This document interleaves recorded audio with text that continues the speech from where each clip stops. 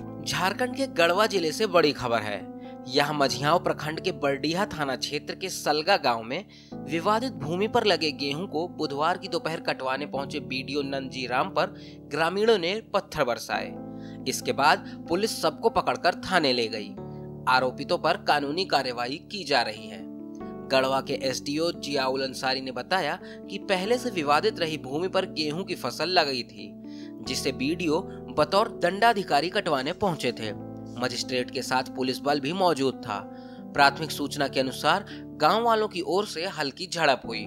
किसी के घायल होने की जानकारी फ़िलहाल नहीं मिली है।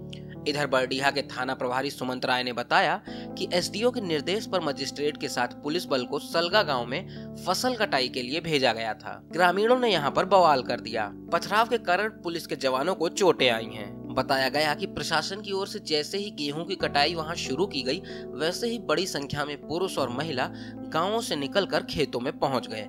पहले उन्होंने मौखिक विरोध जताया, लेकिन देखते ही देखते वे रोड़े पत्थर बरसाने लगे।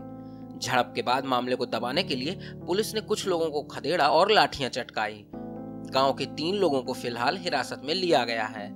इसमें राम यादव, उसकी पत्नी कृष्णा यादव शामिल हैं। फ़िलहाल विवादित भूमि पर गेहूँ की कटाई रोक दी गई है।